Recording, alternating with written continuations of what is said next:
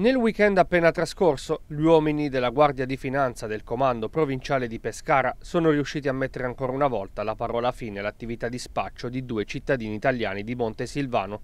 Due storie completamente diverse, ma dallo stesso finale. La prima, sottoposta a perquisizione personale e domiciliare, viene sorpresa mentre vende droga ai clienti direttamente a casa, a ritmo ininterrotto anche di notte.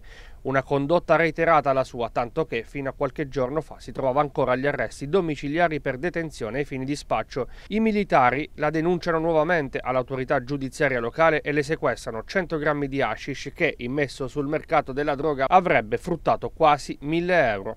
Il secondo, invece, viene fermato mentre si trova alla guida della sua autovettura.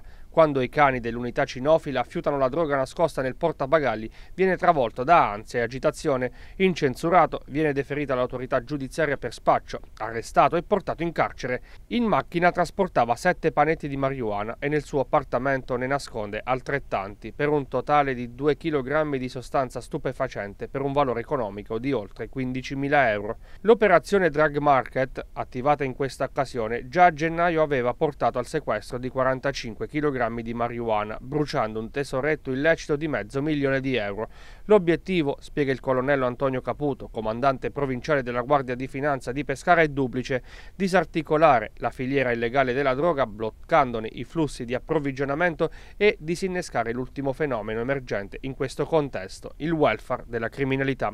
I corrieri sempre più spesso sono lavoratori precari o addirittura disoccupati, comunque indigenti, ostaggi di povertà vivono una condizione sociale svantaggiata e troppo spesso si rassegnano a un destino all'ombra dei pusher della droga.